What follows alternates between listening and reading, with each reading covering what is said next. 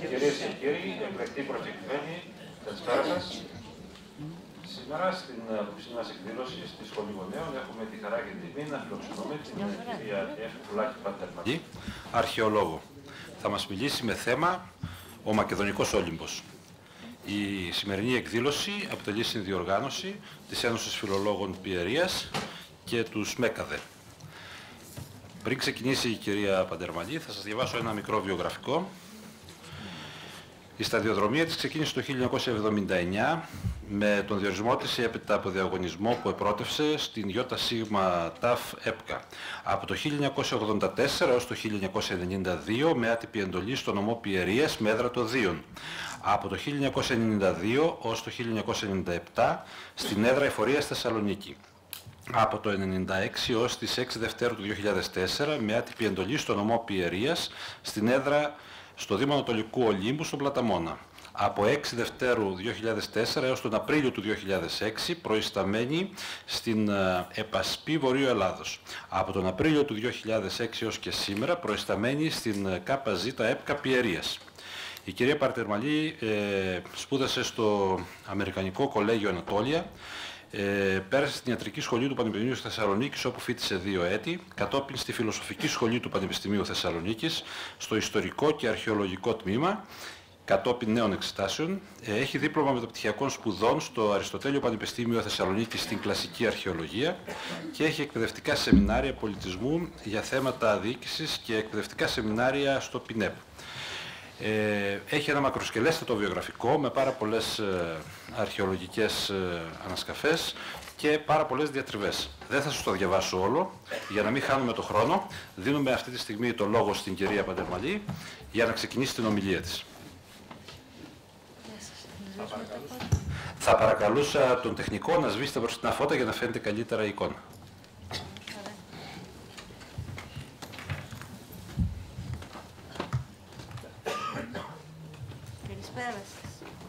Με ακούτε; Τώρα με ακούτε; Εργάζομαι και κατοικώ στον τόπο σας από το 1971, τότε που η Πιερία αποκαλούσε το Δίον Μαλαθριά. Και η Μαλαθριά ήταν γνωστή μόνο στην Πιερία. Από τότε ανατρεπτικές αλλαγές έκαναν στην αρχαιολογία. Από τα προϊστορικά χρόνια μέχρι το τέλος της αρχαιότητας οι πανεπιστημιακές ομάδες, Παντερμαλή στο Δίον, Κοτσάκης στα Παλιάμπελα και οι ομάδες του Υπουργείου Πολιτισμού, Μπέσιου και Μαρκή στη Βόρεια Πιερία και της υποφαινομένης στην περιοχή του Μακεδονικού Ολύμπου. Σημειωτέων εδώ ότι ο όρος Μακεδονικός Όλυμπος ανάγεται στην αρχαιότητα. Σημειωτέων επίσης ότι τα κείμενα που τυχόν θα βλέπετε στην κάτω δεξιά γωνία δεν είναι απαραίτητο να τα διαβάζετε, θα τα ακούτε και από εμένα. Η Μακεδονία γη του Ηρωδότου, το αρχικό δηλαδή βασίλειο της κάτω Μακεδονίας, της δυναστείας του Αλέξανδρου, έχει βόρειο σύνορο την τότε κοινή κήτη Λουδία και Αλιάκμονα.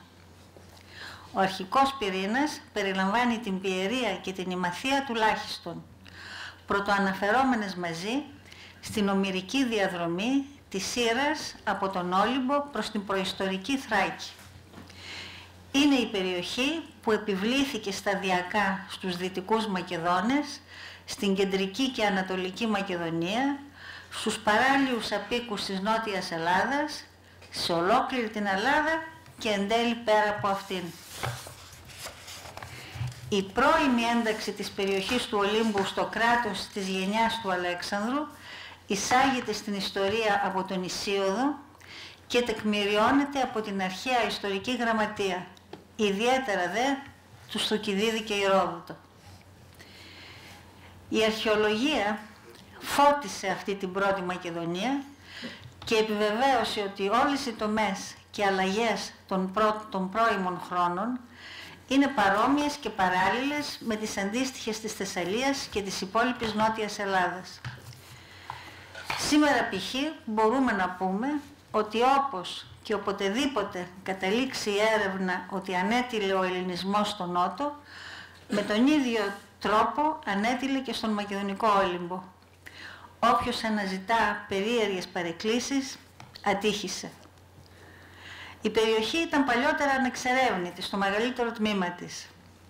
Σήμερα γνωρίζουμε πολλές νέες θέσεις που βρίσκονται σε φυσικά περάσματα, ακόμη και σε μεγάλο υψόμετρο, με πρόσβαση στο νερό, γεωργικές, υλοτομικές, κτηνοτροφικές, κυνηγετικές δυνατότητες, αυθονία οικοδομικών υλικών. Αν προσθέσουμε τη θάλασσα και τη θέση κλειδί στον άξονα βορρά-νότου, τότε καταλαβαίνουμε πόσο άριστα εξυπηρετούσε η περιοχή τους αρχαίους κατοίκους. Λίγοι χώροι ανασκάφηκαν, αποκλειστικά για σωστικούς λόγους και αποσπασματικά. Από την νεολιθική επανάσταση της καλλιέργειας της γης, δύο είναι οι γνωστοί οικισμοί. Ένας στην Κουντουριώτισσα, ανεξερεύνητος, και ένας στην πηγή Αθηνάς, επί της Εθνικής Οδού μεταξύ Πλαταμόνα και Πόρων. Εποπτεύει την νοτιότερη παραθαλάσσια πεδιάδα της Μακεδονίας, εκείνη των εκβολών του Ποινιού. Επειδή η κλιματική αλλαγή του τέλους των παγετώνων είχε δημιουργήσει μια μεγάλη απόθεση και επειδή στη μετάβαση προς την νεότερη νεολιθική σημειώθηκαν νέες αποθέσεις, υπήρχε καλή γη για γεωργική εκμετάλλευση, κύριο λόγο της μακρόχρονης αυτής εγκατάστασης, σε συνδυασμό βέβαια με τη θέση κλειδί στη ραχοκοκαλιά της ελληνικής Κερσονήσου και τις πηγές που ακόμη δροσίζουν τους ταξιδιώτες. Η ανασκαφή έγινε στο πλαίσιο εργασιών της ΠΑΘΕ. Η τρίτη χιλιετία και η πρώιμη εποχή Χαλκού βρήκαν τον τόπο πιο ανήσυχο, πολύπλοκο και εξειδικευμένο. Κύριο χαρακτηριστικό της νέας εποχής ήταν η επανάσταση της, της μεταλλουργίας και η αυξημένη δραστηριότητα του εμπορίου που προκλήθηκε από την ανάγκη προμήθειας των μετάλλων. Ο πλούτος που έφερε το εμπόριο και η μαζική παραγωγή των αποτελεσματικότερων μέχρι τότε όπλων της ιστορίας, των μεταλλικών, οδήγησαν σε μια νέα κοινωνική διαστρωμάτωση και σε οχυρωμένους οικισμούς για την προστασία των κέντρων εξουσίας και των συσσωρευμένων θησαυρών των νέων καιρών. Οι θαλασσινοί δρόμοι του Αιγαίου που συνέδεαν τα πρώτα κέντρα ανάπτυξης Ευρώπης και Ανατολής γνώρισαν τότε την πρώτη όριμη φάση της δικής τους πρωτοκοσμικής δράσης και ανάπτυξης. Η εκκίνηση της εποχής εντοπίστηκε στην κομβική θέση του Πλαταμόνα, θέση του Ηρακλείου, νοτιότερη πόλη της Πιερίας ως την ίδρυση της Μακεδονικής φύλας, σήμερα στο νομό Λαρίσης. Οι οικοδομικές του φάσεις από την πρώιμη εποχή Χαλκού μέχρι και τη Ρωμαιοκρατία μόλις πρόσφατα εντοπίστηκαν στη θέση Κρανιά, στους βόρειους παραλιακούς λόφους του Ηρακλείου. Τη νέα εποχή σηματοδοτούν εργαστηριακές εγκαταστάσεις και περίβολοι. Ο καλύτερας οζόμενος αγκάλιαζε το λόφο του κάστρου, συνοδευόμενος από ένα παράλληλο λιθόστρωτο πιθανόν δρόμο. Στις αρχές της δεύτερης χιλιετίας και της μέσης εποχής Χαλκού, κυριάρχησε στον Αιγιακό χώρο η αρχαιότερη δύναμη της Ευρώπης, η Κρήτη. Από αυτή την εποχή είναι δεδομένη η συλλογική μνήμη της αρχαιότητας, έστω και αν καταγράφηκε πολλούς αιώνες αργότερα. Η μέση και η μετάβαση προς την ύστερη εποχή Χαλκού, δηλαδή το πρώτο μισό της δεύτερης χιλιετίας, έκαναν έντονη την παρουσία τους στην περιοχή με μνημιακές κατασκευές σε οικισμούς και σε νεκροταφεία.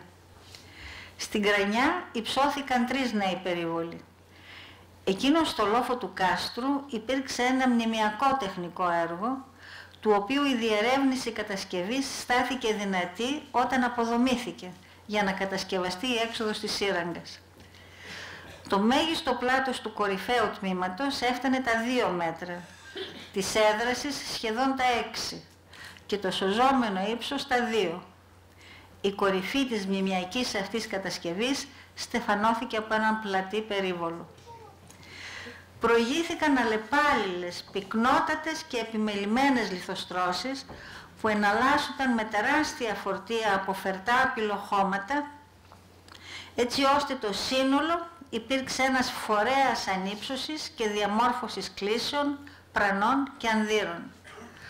Ακολουθούσε τα ριζά του λόφου, πιθανώς για την προστασία των πρανών από τις σπάνιες αλλά επικίνδυνες φορές που, που πλημμύριζε ο χήμαρος.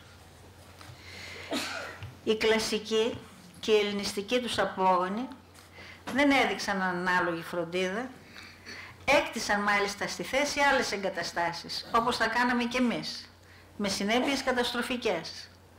Η προϊστορική όμως κατασκευή διατηρήθηκε κάτω από τα ιστορικά ερήπια συμπαγής, μέχρι την ημέρα που διαλύθηκε. Για να κατασκευαστεί, ο δεύτερος μετά από 3.500 χρόνια κυβωτοειδής οχετός που απομακρύνει τα νερά προς τη θάλασσα. Την ίδια εποχή στην πηγή Αθηνάς κατασκευάστηκε ένα νεκροταφείο τίμων από τρόχαλα, δίπλα στον αρχαίο δρόμο, στη θέση της σημερινής οδού, εθνικής οδού, επίληθος τρώσεων που ισοπαίδωσαν την πλαγιά με τη βοήθεια περιβόλου. Περίχαν ατομικές σταφές σε βαθείς λάκους, κάποτε με σκαλοπάτι καθόδου. Στον τύμβο υπήρχε πάντα κεντρικός τάφος, κατά κανόνα ομνημιακότερος, που προφανώς υποδεικνύει ανώτερη ιεραρχία για τον κεντρικό νεκρό. Η ίδια εποχή εντοπίστηκε και μπροστά στο Olympia Bay, στη θέση Βάλτο της Τοπόλιανης, μια Τοπόλιανης με αρχαία τόσο στον Όλυμπο όσο και στη θάλασσα. Πρόκειται για μια εκτεταμένη εγκατάσταση του πρώτου και δεύτερου μισού της δεύτερης χιλιετίας με πάλι οικιστικές φάσεις και ένα κροταφείο, όλα με μνημιακές κατασκευές. Η ανασκαφή ξεκίνησε με μια μεγάλη καταστροφή για τη διάνοιξη υπόγειας διάβασης στο τρένο. Θλιβερό και χαρακτηριστικό ότι το μεγαλύτερο μέρος της θέσης καταστράφηκε. Ένα μικρό τουλάχιστον τμήμα της, έστω και με πολύ οδύνη, τελικά ανασκάφηκε. Η ίδια εποχή, με κατασκευές και ταφές, εντοπίστηκε πολύ πρόσφατα και στην πηγή Αρτέμιδος, στην Εθνική Οδό, στο ύψος του Πλαταμόνα. Η θέση αυτή, όπως και ο Βάλτος, συνέχισε τη ζωή της και στην επόμενη, τη λεγόμενη Μικυναϊκή εποχή. Οι φάσεις 2 και 3 του Βάλτου και οι αντίστοιχες της Κρανιάς και των πηγών Αθηνάς και Αρτέμιδος έχουν ελάχιστα ερευνηθεί στη Μακεδονία, είναι ωστόσο γνωστές στη Θεσσαλία με την οποία η περιοχή διατηρεί διαχρονική επαφή από την νεολιθική τουλάχιστον εποχή μέχρι και σήμερα. Η τυχόν σχέση του αρχικού πυρήνα του βασιλείου της κάτω Μακεδονίας με τη Θεσσαλία στις σκοτεινές πρώιμες φάσεις του είναι εξαιρετικά σημαντική για το πολυσυζητημένο θέμα της προϊστορίας των κατοίκων της. Κατά τη διάρκεια της ζωής των παραπάνω εγκαταστάσεων εξεράγει η Σαντορίνη. Μετά την έκρηξη, τις φυσικές καταστροφές και άλλα ίσως γεγονότα, η χώρη όπου χτυπούσε η καρδιά του Αιγαίου, τα μινοϊκά ανάκτορα, ενταφιάστηκαν στα ερήπια. Η εξουσία μεταφέρθηκε στον ελλαδικό κορμό. Η ελλαδική Χερσόνησος βγήκε σιγά σιγά από την αφάνεια και κυριάρχησε στον Αιγαιακό χώρο νέα διοικητικά, θρησκευτικά και οικονομικά κέντρα έγιναν οι Μικυναϊκές Ακροπόλεις. Πρώτος ανάμεσα σε ίσους ήταν ο άρχοντας των Μικυνών. Έτσι, οι τελευταίες περίοδοι της εποχής του Χαλκού ονομάζονται συμβατικά και Μικυναϊκή εποχή. Ο Μικυναϊκός πολιτισμός, στηριγμένος στην πλούσια παράδοση, αναπτύχθηκε και κυριάρχησε στη Μεσόγειο όπως παλιότερο ο Μινοϊκός. Εκτός από την πηγή Αρτέμιδος και το Βάλτο, η Μικυναϊκή εποχή εντοπίστηκε στον Άγιο Δημήτριο, στα γειτονικά στενά της Πέτρας, στο Λιτόχωρο, την Παλιά Λεπτοκαριά και τα Λίβηθρα. Το νεκροταφείο στις Σπάθες είναι το μόνο που επαρκώς ανασκάφηκε. Βρίσκεται σε απότομη πλαγιά του Άνω Ολύμπου, ανατολικά του Αγίου Δημητρίου, σε υψόμετρο 1000 με 1100 μέτρα. Έχοντας πλήρη εποπτεία, του μεγαλύτερου ορεινού περάσματος από τη Μακεδονία προς τη Θεσσαλία. Εντοπίστηκαν 34 στάθη, αρκετοί συλλημένοι και κατεστραμμένοι από δασικό δρόμο. Είναι άγνωστος ο οικισμός που σχετίζεται με τις πάθες, αλλά δεν ερευνήθηκαν όλα τα πυκνά υψώματα που περιβάλλουν το νεκροταφείο. Η τάφη είναι μεγάλη κάθετη λάκη, στο βάθος των οποίων υπήρχε ένας μικρότερος λάκκος, όπου είχε κατασκευαστεί ένας πλακοπερίβλητος κυβωτιόσχημος, τύπος γνωστός από παλιότερα στην Νότια Ελλάδα.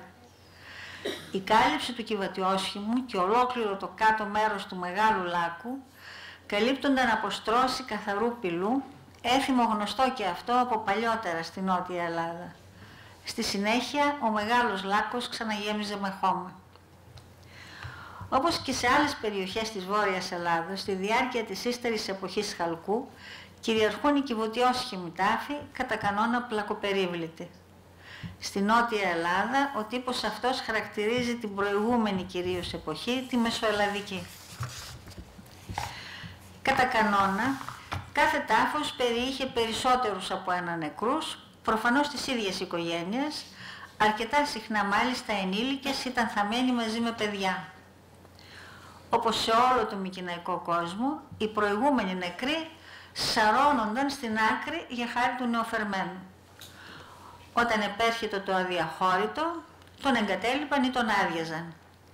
Οι προηγούμενοι ένικοι τότε κατέληγαν πάνω στον τάφο ή απρόσεκτα μέσα στα χαλαρά χώματα του μεγάλου λάκου πάνω από τον τάφο. Τα κτηρίσματα των παλιότερων νεκρών παραμερίζονταν επίσης εντός ή εκτός του τάφου.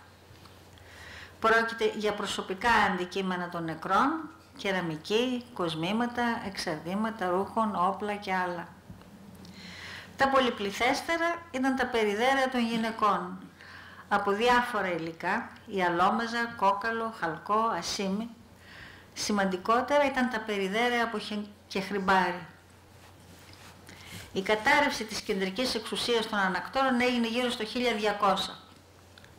Ως το 1100 η μνημιακή αρχιτεκτονική, οι μεγαλόπρεπες ταφές της άρχουσας τάξης, οι τέχνες και οι τεχνικές, η γραμμική βήτα, οι κοινωνικές και πολιτικές δομές των συγκεντρωτικών θεσμών, όλα τα μεγάλα μικυναϊκά επιτεύγματα ξεφόργεσαν και χάθηκαν. Έγιναν μεγαλεία παλιά, τελειωμένα, ζωντανά μόνο στη φαντασία των καθημερινών ανθρώπων και το τραγούδι των ραψοδών. Ο τόπος έμεινε εσωστρεφής, φτωχός και απομονωμένος μέχρι τον 10ο αιώνα. Άγνωστη είναι η αιτία αυτής της αλλαγής. Ίσως οφείλεται στις μετά τα τροϊκά κοινωνικές ταραχές και τις μετικήσεις των ελληνικών λαών που αναφέρει το σύνολο της αρχαίας γραμματείας. Ίσως πάλι φυσικοί παράγοντες να προκάλεσαν καταστροφές στην οικονομία, ίσως ακόμη η δραστηριότητα των θαλασσινών λαών να απέκοψε τις επικοινωνίες και να νέκρωσε το εμπόριο και την οικονομία. Ίσως τέλος να οφείλεται και σε άλλους λόγους που δεν γνωρίζουμε. Λίγα είναι τα ευρήματα από τα πρώτα χρόνια της νέας εποχής, γι' αυτό και συχνά χαρακτηρίζεται σκοτεινή. Ονομάζεται πρώιμη εποχή του σιδήρου, επειδή ο σίδηρος αντικατέστησε το χαλκό στην κατασκευή όπλων και εργαλείων. Οι αιώνες από τον 10ο ως και τον 8ο ονομάζονται πρωτογεωμετρικοί και γεωμετρικοί, επειδή τα ανικονικά γεωμετρικά συστήματα έγιναν κύριος τρόπος διακόσμησης στα πύληνα αγγεία, το έβριμα των αρχαιολόγων που σταθερά υπομνηματίζει την ιστορία. Η πολιτιστική ανάκαμψη και η αποκατάσταση των σχέσεων με τη ζωογόνα Ανατολή άρχισε στο 10ο και συνέχισε στον 9ο αιώνα. Στον 8ο ακολούθησε η αρχαία ελληνική αναγέννηση. Η εκκίνηση δηλαδή του θαύματος που οδήγησε στην κλασική αρχαιότητα. Χαρακτηριστικά της ήταν η υιοθέτηση του φοινικικού αλφαβήτου, η δημιουργία και εκλαΐκευση του πρώτου φωνητικού αλφαβήτου, αρχικά από ευωείς ταξιδιώτες, η ανάπτυξη των πόλων, ο ποιητής Όμηρος, οι έντονες εμπορικές επαφές με Ανατολή και Δύση, η διασπορά των απικιών, η επανεμφάνιση των εικονιστικών παραστάσεων, η μεγάλη τέχνη, οι Ολυμπιακοί αγώνες και τα νέα ιερά Πανελλήνια και μη. Αυτή η εποχή ίσως σηματοδοτεί και την εκκίνηση της ευρύτερης χρήσης του ονόματος Έλληνες, αφού μέχρι και τον Όμηρο οι όροι Έλλην και Ελλάς δεν είχαν αποκτήσει ιδιαίτερο περιεχόμενο. Μολονότι τα κενά είναι μεγάλα, προϊόντα εμπορίου φαίνεται ότι διακινήθηκαν πρώιμα μέσα στην πρώτη χιλιετία προς τη Μακεδονία, πιθανότατα με ευωικά καράβια. Στην περιοχή μας οι ευωείς εγκαταστάθηκαν στη Μεθόνη. Τα ευρήματα μάλιστα της εποχής δείχνουν ότι οι επιρροές της Εύβοιας δεν περιορίζονταν μόνο στη Χαλκιδική και την απικία τους στη Μεθόνη, αλλά στην Πιερία γενικότερα. Στην περιοχή του Μακεδονικού Ολύμπου εντοπίστηκε μεγάλος αριθμός χώρων αυτής της κρίσιμης εποχής, αλλά ερευνήθηκαν αποσπασματικά μόνο λίγα από τα νεκροταφεία και η κρανιά του αρχαίου Ηρακλείου. Οι τρεις ελιές είναι το παλιότερο από τα νεκροταφεία. Βρίσκεται δίπλα στην αρχαία πέτρα, πάνω σε ένα χαμηλό ύψωμα στην είσοδο των στενών. Τα δύο υψώματα, οικισμού και νεκροταφείου, χωρίζονται από βαθιά κήτη χυμάρου και επικοινωνούν με παλιό, ίσως αρχαίο μονοπάτι. Η πέτρα είναι ένας αρχαίος βυζαντινός μεταβυζαντινός οικισμός σε θέση οχυρή. Διακρίνονται τμήματα του οχυρωματικού περιβόλου, των οικειών της μεταβυζαντινής πόλης, του υδραγωγείου και ενός ναού. Η πόλη ωστόσο αναφέρεται από την αρχαιότητα. Όταν αρχίσαμε την ανασκαφή στις τρεις ελιές, το πλάτωμα της κορυφής φωτιζόταν από ένα μικρό λιβαδάκι μέσα σε περίβολο. Διακρίνονταν επίσης καμιά δεκαριά διάσπαρτα και καπηλευμένα μημόρια άγνωστης χρονολόγησης. Δεν υπήρχαν στοιχεία για την ύπαρξη πρώιμης ζωής, υπήρχε όμως ελπίδα, επειδή η πέτρα έχει εξέχουσα σημασία στην είσοδο μέγιστον διόδων του Ολύμπου προς τη Θεσσαλία και των Πιερίων προς την Άνω Μακεδονία. Ήπιο κλίμα με αυτοφυή ελιά, νερό όλη τη διάρκεια του χρόνου και παραγωγικές δυνατότητες. Το μόνιμο πέρασμα ήταν εν χρήση στην εποχή του Χαλκού, αφού είχαν ήδη εντοπιστεί δύο τουλάχιστον νεκροταφεία μικυναϊκά. Τέλος, η λέξη πέτρα είναι αρχαιότατη, ομυρική και περιγράφει τη φύση του απόκρημνου λόφου που καταλήγει στον ομώνυμο βράχο της κορυφής. Εντοπίστηκε εν τέλει το παλιότερο νεκροταφείο της πρώιμης εποχής του Σιδήρου στον Όλυμπο σε μια επώνυμη μακεδονική πόλη, την Πέτρα. Η εντοπισμένη τάφη ήταν 75, αλλά η ανασκαφή δεν ολοκληρώθηκε. Το αρχαίο Δίον έχει ομυρικό όνομα που τονίζει τον ιερό του χαρακτήρα. Είναι ο πληρέστερα ανασκαμένος χώρος της περιοχής και μια από τις μεγαλύτερες ανασκαφές των νεότερων χρόνων στην Ελλάδα. Οι, ανασ... οι έρευνες άρχισαν το 1928 με τον καθηγητή Σωτηριάδη, σταμάτησαν το 1931 και ξανά άρχισαν τη δεκαετία του 70 αρχικά από τον καθηγητή Μπακαλάκη και στη συνέχεια από τον καθηγητή Παντερμαλή. Στα ιστορικά χρόνια οι κάτοικοι της παραολύμπιας χώρας φαίνεται ότι άρχισαν να εγκαθίστανται δίπλα στο προφανώς παλιότερο ιερό όπου ο Αρχέλος καθιέρωσε τα Ολύμπια. Στο ίδιο ιερό ο Φίλιππος γιόρτασε τα επινίκια μετά τις μάχες στην Όλυνθο και τη Χερόνια. Το 335 και αφού κατέσκαψε τη Θήβα, ο Αλέξανδρος έστησε εδώ σκηνήν εκατοντάκλινων επί την Ευωχίαν μετά τη μάχη του Γρανικού, αφιέρωσε χάλκινο σύνταγμα του Λυσίπου με 25 πεσόντες υπείς της μάχης. Τέλος, το ιερό του Δίου ήταν ένας από τους τόπους που με τη Διαθήκη του άφησε την παραγγελία να αναγερθεί μεγάλος ναός του Διός αξίας 1500 ταλάντων. Στην παραολύμπια ζώνη του εντοπίστηκε ένα εκτεταμένο νεκροταφείο τύμβων της πρώιμης εποχής του Σιδήρου. Παρόμοια υπάρχουν σε όλους τους πρόποδες του Μακεδονικού Ολύμπου, αλλά δεν ερευνήθηκαν. Οι τύμβοι είναι κατά προτίμηση συγκεντρωμένοι στις όχθες χυμάρων, που στη ρίζα του όρους είναι ψηλές και απόκρημνες. ανασκάφηκαν 79 τάφοι σε 18 τύμβους, δύο κυκλικοί περίβολοι χωρίς τύμβο και ένα τάφος χωρίς τύμβο. Περίχαν από έναν έως και 13 τάφους. Είχαν προηγηθεί εκτεταμένες παράνομες εκχερσώσεις και καταστροφές τύμβων σε δημόσια γη, βλέπετε την αποτύπωσή τους σήμερα, ύστερα από άρνηση της αρμόδιας εφορίας να επιτρέψει ανεφόρον την εκχέρσωση. Η τύβη πριν από την ανασκαφή είναι κυκλική, ακανόνιστα κυκλική ή ελλειψοειδής, ακανόνιστα ελλειψοειδής, λιθοσορή, από μικρά τρόχαλα, με δακτύλιο από μεγαλύτερα, μερικές φορές ιδιαίτερα μεγάλα, σχεδόν ογκόλυφους, κάποτε σε δύο σειρές. Οι ντόπιοι τους ονομάζουν τροχαλιές. Λέξη με αρχαία καταγωγή, περιγραφική.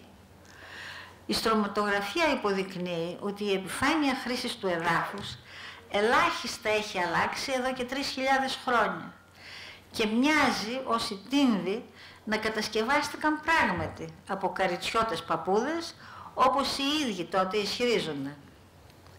Αρχαία και για τον Παυσανία νεκροταφεία τίμων με λιθοσορούς αναφέρει στην Αρκαδία.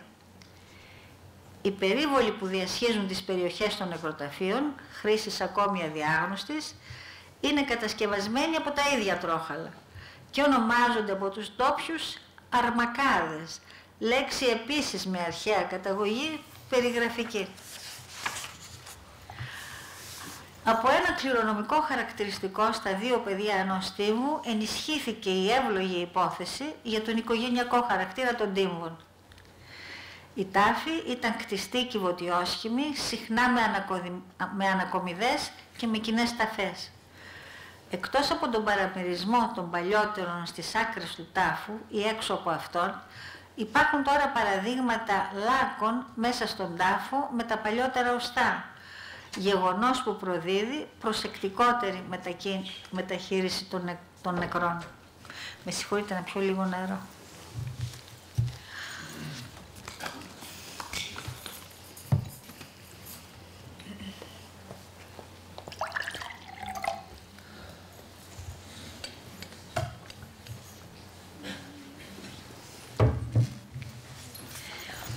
Η πρωτογεωμετρική κεραμική που ξεκίνησε ως αθηναϊκή και τότε μόδα σε εξέλιξη της Μικυναϊκής είναι η αποκλειστική κατηγορία της τροχύλατης κεραμικής στα νεκροταφεία της πρώιμης εποχής του Σιδήρου και υπερτερεί σε ποσότητα, όχι όμως απαραίτητα στην ποιότητα. Αφού η παραδοσιακή χειροποίητη είχε εξαιρετικές επιδόσεις. Η ραγδαία της μείωσης στην ιστορογεωμετρική κρανιά υπέρ της τροχύλα της υπήρξε έντονα αισθητή και μάλλον δυσάρεστη. Όσον αφορά τα κοσμήματα, κυριαρχούν οι οκτώσχημες πόρπες, οι πολύ μακριές περώνες και τα περιδέρεα από σάρδιο. Οι οικισμοί των παραπάνω νεκροταφείων δεν ερευνήθηκαν. Αντίθετα, δεν εντοπίστηκε το νεκροταφείο του γεωμετρικού οικισμού της Κρανιάς στο Ηράκλειο, μιας αεροκατοικημένης εγκατάστασης στην περιφέρεια του Πιερικού Ηρακλείου. Στο δεύτερο μισό του 8ου αιώνα, πάνω στα Άνδυρα και τον περίβολο εποχής Χαλκού, κτίστηκε ένα μονόχωρο αψιδωτό κτίριο. Λίγο αργότερα μετατράπηκε σε οβάλ, με δάπεδο βοτσαλωτό, που σώθηκε ελάχιστα στο εσωτερικό και καλύτερα στη δυτική εξωτερική πλευρά. Στο κέντρο του κτηρίου υπήρχαν δύο εφαπτώμενες εστίες και ακτέριστη ταφή. Η ανοδομή ήταν μάλλον πληθόκτιστη, σε λαχνίεντα όροφο, σε ξύλινο σκελετό. Στη γέννηση της νότιας αψίδας υπήρχε επίπεδος λίθος, πιθανόν βάση στήλου, ίσως για πατάρι προς εκμετάλλευση του χώρου, όπως η αποκρέβατη στα μονόσπιτα του Αιγαίου. Εάν χρηματοδοτηθεί από το ΕΣΠΑ, το κτίριο αυτό που μπαζώθηκε χάρη του τρένου προβλέπεται να αναπαρασταθεί στο αρχαιολογικό πάρκο των Λιβύθρων. Την εποχή της καταστροφής, που με μεγάλη ενάργεια αποκαλύφθηκε στα μάτια των αρχαιολόγων, ένικη και μαγειριό διημέρευαν στη Βοτσαλωτή αυλή, πιθανώς σε στοά.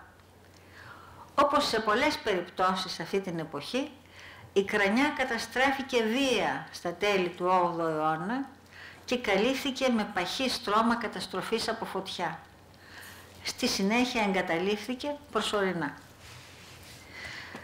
Βρέθηκαν μεγάλες ποσότητες μονόκοκο, δίκοκο, σκληρό και μαλακό σιτάρι, κρυφάρι δύστιχο και εξάστιχο, μπιζέλι, ρόβι, φακί, φουντούκι, τμήμα και σπόρι σίκου, ένας αλαιοπυρήνας και ένα γίγαρτο.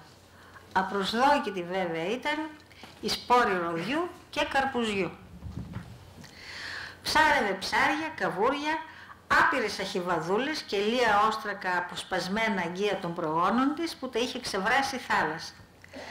Έτρεφε γιδοπρόβατα, άλογα, μουλάρια και γαϊδουράκια, σκυλιά και ανάμεσα στις ασχολίες της ήταν το κυνήγι λαγού, αγριόχειρου, η επεξεργασία μετάλλων, η φαντική και κεραμική. Ήταν σε επαφή με την υπόλοιπη Ελλάδα, ιδίως στην Εύβοια, το Ανατολικό Αιγαίο και την Κόρινθο, από όπου εισήγαγε την καλή της οικοσκευή. Άγνωστο τι έδινε σε αντάλλαγμα, αν όμως φανταστούμε τις μεγάλες ναυπηγικές ανάτες, ανάγκες στις ρότες της ελληνικής αναγέννησης, τότε η ξυλία από τον Όλυμπο θα ήταν σίγουρα ένα σπουδαίο αντάλλαγμα. Συνοψίζοντας, μπορούμε να πούμε ότι τα προϊστορικά και πρώτο ιστορικά ευρήματα που βρέθηκαν τα τελευταία χρόνια στον Μακεδονικό Όλυμπο έρχονται απλώς να υπομνηματίσουν τα ελληνικά ονόματα της περιοχής. Ονόματα με πρώιμη άβρα, χάρη στον ομυρικό χαρακτήρα τους και τον μύθο που τα συνοδεύει. Έφαλος βράχος ο Πλαταμών, βαθύγειος έφορη η πιερία, ιερός χώρος το Δίον, κανάλια χυμάρων τα Λίβυθρα και άλλα. Σε μια περιοχή ιστορικά συνδεδεμένη με τον πυρήνα του βασιλείου της γενιάς του Αλέξανδρου, η αρχαιολογική εικόνα που προκύπτει άριστα εφαρμόζει στη συναρπαστική εικόνα της Ελλάδος γενικότερα. Ο Θεσσαλοεβοϊκός κύκλος είναι ο πλησιέστερος. Από την αρχή του 7ου αιώνα η Χαλκίδα και η Αρέτρια έχασαν την πρώτη θέση στο εμπόριο εξαιτίας των μεταξύ τους πολέμων. Κυκλαδίτες, Χί, Αιωλής, Κορίνθοι, Αθηναίοι και άλλοι κινήθηκαν στο βόρειο Αιγαίο, απίκησαν και εκμεταλλεύθηκαν τα βόρεια παράλια, αλλά και την Προποντίδα και τον Εύξηνο Πόντο. Την αρχαϊκή εποχή, όπως και αργότερα στην Παλαιοχριστιανική, η Κρανιά μετατράπηκε σε νεκροταφεία. Στη συνέχεια, τον 5ο αιώνα, η περιοχή του Μακεδονικού Ολύμπου εμφανίζεται επιτέλους πρώτη φορά και στην καταγεγραμμένη ιστορία επί Αλεξάνδρου πρώτου με την εισβολή του Ξέρξη και στη συνέχεια με τους Πελοποννησιακούς πολέμους. Το Ηράκλειο είναι κυρίως γνωστό στην ιστορία από τους Ρωμαϊκούς πολέμους και φαίνεται ότι ταυτίζεται με την περιοχή του κάστου Πλαταμόνα.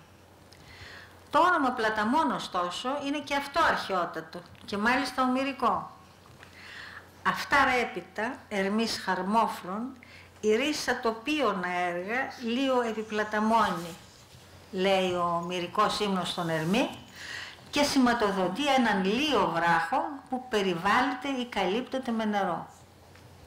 Ο Βυζαντινός λοιπόν πλαταμόν δεν θα μπορούσε παρά να είναι και ένας αρχαίος πλαταμόν του ευρύτερου Ηρακλείου, δηλαδή μια έφαλος πέτρα, λία, ταπεινή, περιείς πλατείνονται τα κύματα. Ο βράχος δηλαδή του κάστρου, μοναδική πλαταμόδη άκρα του Ολύμπου στη θάλασσα. Η ζωή στην Κρανιά ανοιχνεύθηκε από την αρχή της Χαλκοκρατίας ως τα τέλη της Ρωμαιοκρατίας με επιχώσεις που έφτασαν τα 8 μέτρα βάθος και δεν εξαντλήθηκαν. Κυριότερο χαρακτηριστικό ήταν το μεγάλο βάθος των αλλεπάλληλων εποχών, η μία κάτω από την άλλη, και τα εκτεταμένα αλλεπάλληλα στρώματα καταστροφής, πλούσια δυστυχώς ως απλωμένη τάφη. Αναπόφευκτες δυσκολίες ήταν οι ραγδαίες ταχύτητες με τις οποίες διαλύονταν πριν γίνουν κατανοητές οι νεότερες φάσεις για να ανασκαφούν οι παλιότερες. Οι συχνές και έντονες συγκρούσεις όλων με όλους. Οι μεγάλες πλημμύρες του ρέματος και άπειρα άλλα επί καθημερινής βάσεως. Οι κλασικές φάσεις αποκάλυψαν εργαστήρια αγγιοπλαστικής και δύο μεγάλα και πολύ πλούσια στρώματα καταστροφής του 5ου και του 4ου αιώνα. Τα ελληνιστικά χρόνια σηματοδοτούν τη μετατροπή της σε έναν πυκνοκατοικημένο χώρο που σφίζει από ζωή με εργαστηριακό και πάλι χαρακτήρα. Τα στρώματα καταστροφής φαίνεται να σηματοδοτούν τις γνωστές από την ιστορία επιδρομές των γαλατών και των ετολών. Η ρωμαϊκή φάση αρχίζει με το στρώμα καταστροφής του 2ου αιώνα που πιθανότατα σχετίζεται με την κατάληψη από τους Ρωμαίους. Η περιοχή δεν εγκαταλείφθηκε. Οι επιχώσεις, μία σειρά από ασβεστοκάμινα, ένας δρόμος με βοτσαλωτό κατάστρωμα και ένα κτίριο υποδεικνύουν ανθρώπινη παρουσία μέχρι τον 4ο αιώνα μετά Χριστόν. Την παλαιοχριστιανική εποχή μετατράπηκε σε νεκροταφείο. Τότε εγκαταλείφθηκε μέχρι τον 20ο αιώνα. Τα γειτονικά Λίβυθρα, γνωστά από τον ορφικό μύθο, ταυτίστηκαν στα μέσα της δεκαετίας του 50 από τον έφορο αρχαιωτή τον Κοντζιά, στην είσοδο της μεγάλης πτυχής που χωρίζει τον Άνω από τον κάτω Όλυμπο.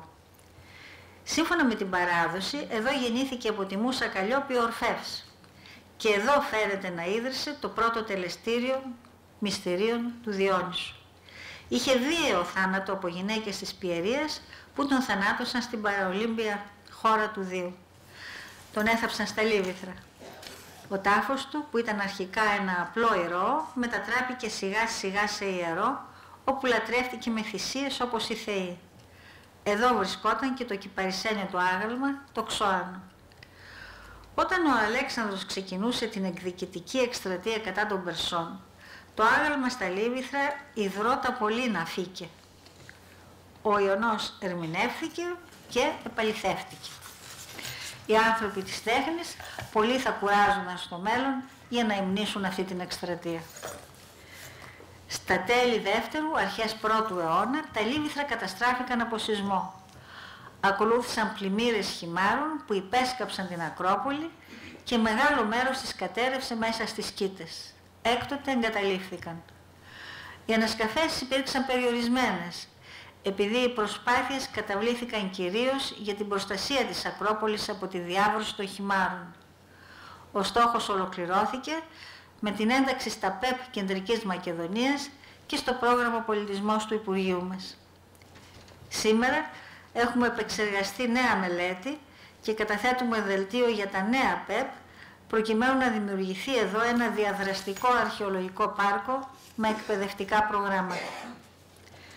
Τέλος, οι ανασκαφές των μεγάλων τεχνικών έργων εργοσέπαθε αποκάλυψαν στην περιοχή εγκαταστάσεις της Υπέθρου. Σημαντικότερες είναι δύο μεγάλες αγρεπάβλεις γεωκτημόνων της περιοχής που είχαν ως κύρια παραγωγή την Ινάμπελο και αποκάλυψαν καινούριους συνουργικούς δρόμους των ιστεροκλασικών ελληνιστικών χρόνων. Αν δεν ήταν μόνιμες κατοικίες του ιδιοκτήτη τους, θα ήταν σίγουρα κατοικίες που συντηρούσαν ολόκληρη τη διάρκεια του χρόνου για τις ανάγκες του αγροκτήματος. Οι μεγάλες αυτές εγκαταστάσεις που συνοδεύονται με πυργόσπιτα δείχνουν ότι τα ευρωπαϊκά μεγάλα κτήματα των γεωκτημόνων με εινοποιητικές εγκαταστάσεις τόσο χαρακτηριστικά για την πενταγενέστερη Ευρώπη, ήταν ήδη γνωστά στη Μακεδονία του Φιλίππου και του Αλέξανδρου, όπου και είναι δυνατόν να ανάγονται διά της διαδόχου του ελληνισμού Ρώμης. Μολονότι υπάρχουν και διαφορετικά παραδείγματα, το σπίτι της κλασικής αρχαιότητας, τόσο στην πόλη όσο και στην Ήπεθρο, υπήρξε ένας εσωστρεφής μικρόκοσμος, ολόγυρα από μια κλειστή εσωτερική αυλή, κέντρο βάρους της καθημερινότητας. Από εκεί φωτίζονταν και αερίζονταν τα δωμάτια, εκεί μαζευόταν το νερό της βροχής, εκεί απλωνόταν η ζωή τους περισσότερους μήνες του χρόνου. Και από εκεί γινόταν η πρόσβαση σε όλες τις σεγασμένες πτέρυγες του σπιτιού. Αφού δεν υπήρχαν κεντρική θέρμανση ψήξη, βασική προϋπόθεση κάθε σπιτιού ήταν ο σωστός προσανατολισμός για να αντιμετωπίζονται οι άνεμοι και οι θερμοκρασίες. Τα κύρια δωμάτια έπρεπε να έχουν νότιο προσανατολισμό, ώστε να είναι δροσερά το καλοκαίρι και θερμά το χειμώνα. Αυτή η πτέρυγα ήταν συχνά διόρροφη. Σε αντίθεση με τα δημόσια κτίρια, τα ιδιωτικά ήταν κατασκευασμένα με τα καθημερινά υλικά που παρήγαγε ο οικείος τόπος.